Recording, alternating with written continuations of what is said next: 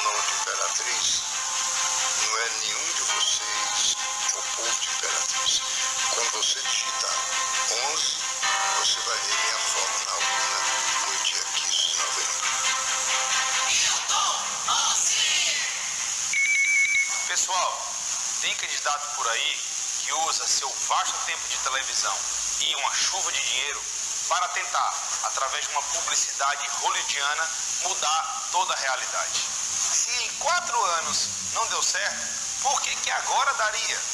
Quando o fluxo não está bem, é hora de interromper o fluxo. Vote 19. Eu sou o doutor Daniel Pinto.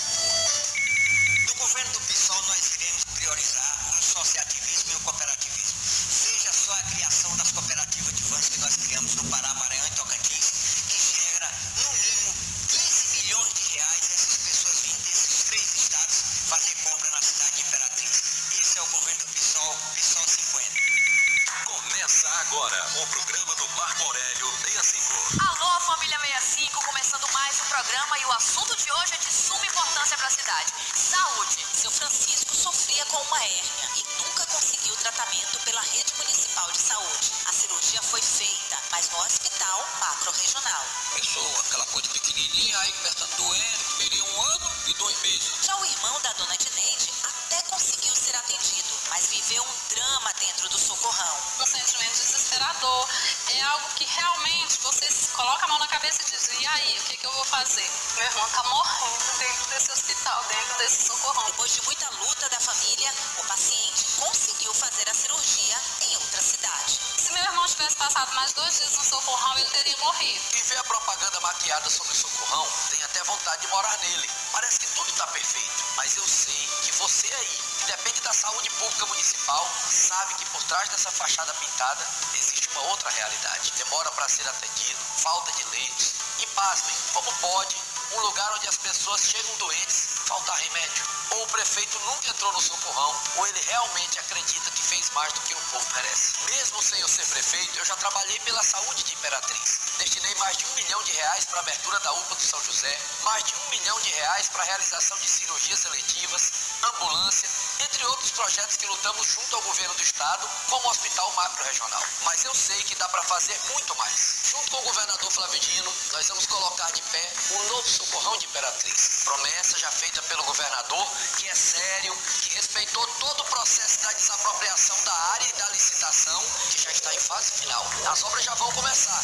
O governo do estado vai construir e a prefeitura, na nossa gestão, vai equipar. Assim a gente acelera a entrega, porque a saúde não pode esperar. Quando o novo socorrão de Imperatriz terá 400 leitos, com centro cirúrgico, UTI, pronto atendimento, emergência, farmácia, blocos de internação e será estratégico para transformar a saúde de Imperatriz. Junto com o governo do estado, nós lutamos pela criação da UEMA Sul, pela construção do novo calçadão e da nova Beira Rio de Imperatriz, além de pormos em funcionamento o Hospital Macro Regional e tantas outras obras que, mesmo sem prometer, foram feitas. Vamos mais de 120 quilômetros de asfalto que deveriam ser de responsabilidade da prefeitura. Pode ter certeza que eu, como seu prefeito, vou trabalhar para fazermos muito mais. Coligação Imperatriz merece mais. PCdoB, Solidariedade, PSB, PT e PDT. Começa agora o programa da coligação Pra Frente é que se anda. Dos partidos. Tem MDB, Republicanos, PL,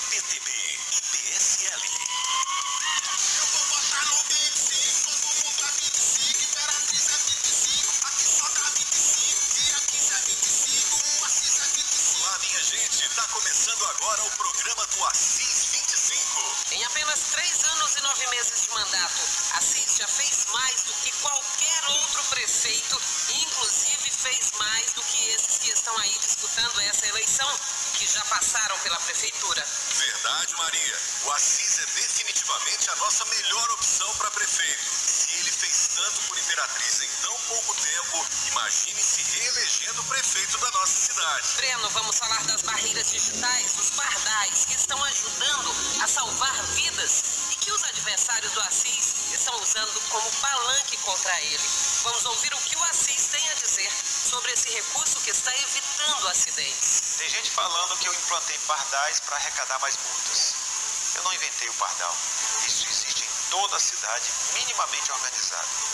Se fosse para arrecadar mais, bastaria colocar mais guardas nos cruzamentos, autuando motoristas que avançam sobre a faixa de pedestre ou passam em velocidade exagerada.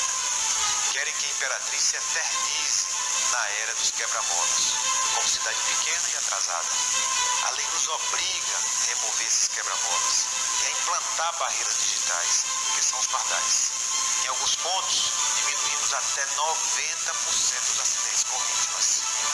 geral, redução das ocorrências em mais de 50%. Em um ano, diminuímos de 22 para 10 as mortes por atropelamento e colisão dentro da cidade.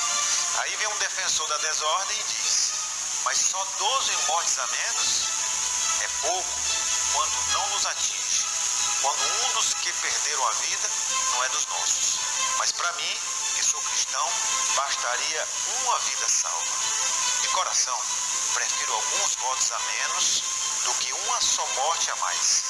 Se você é da paz, da ordem pública e por uma cidade moderna e justa, siga o fluxo comigo com segurança. Isso mesmo, Assis. Todos nós somos a favor da vida. E depois dos pardais, houve redução do número de acidentes com vítimas. Na Avenida Santa Teresa, 80% a menos. Bernardo Saião, redução de 75%. Getúlio Vargas, 33%. Pinheiro, 41%. Breno, eu estive no cruzamento da Avenida Newton Belo com a rua 27 de agosto, lá no bairro Novo Horizonte, onde está instalado um pardal. Eu conversei com o seu Zé, que tem lá um comércio na área. Ele conta como era o cruzamento antes da instalação desse equipamento de segurança. Vamos conferir. Seu Zé, dia. Bom dia. Seu Zé, conta pra gente como que era aqui antes desse pardal. Tinha muito acidente? Muito acidente, muito acidente. Morreu gente bem ali, morreu bem aqui, morreu lá na frente. E aí depois do pardal não teve mais acidente, nenhum. Siga o fluxo com segurança.